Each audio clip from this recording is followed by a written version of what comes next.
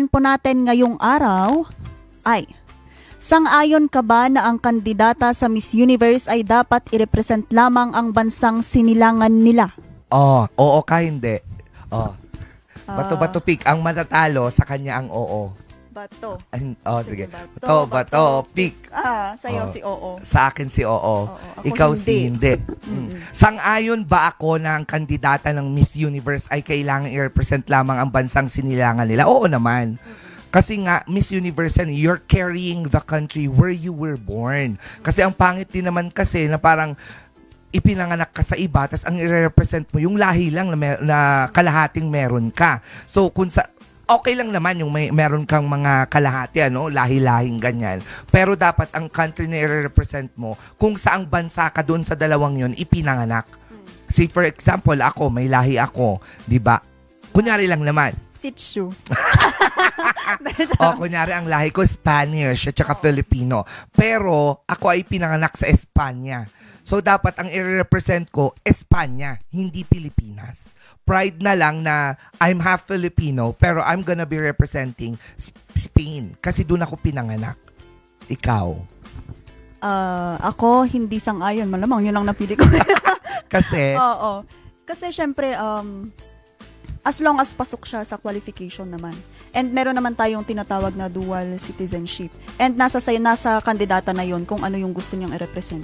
Hindi naman uh, hindi naman yung sa pilitan na kailangan ito yung i-represent mo kasi dito ka pinanganak. Ito yung i-represent mo kasi dito ka lumaki. Pero kung yun nga half half, half bulldog. Ah, hindi. I mean, naman siya, nasa sa Oo. kanya na 'yon kung ano yung gusto niyang i-represent. Hindi naman kung saan talaga siya pinanganak, born and raised dito, pero may lahi kang ganito, nasa sa kanya. na yun. ay hindi pa rin sa akin. Pangit 'yun. Kasi nga parang paano 'yon? Kapag hindi ka nanalo dito sa bansang 'to, o sasali ka ulit yung bansa naman na iba.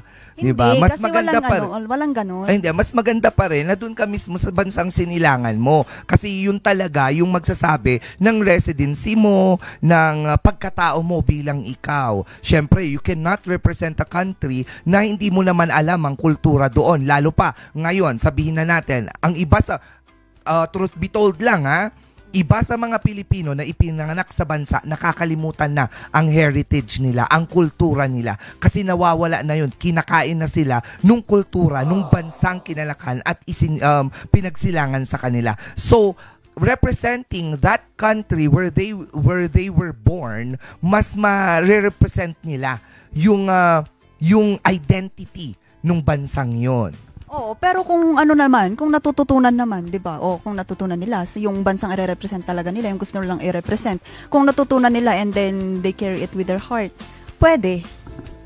Paano po pwede? Hindi nga sila dun pinanganak eh.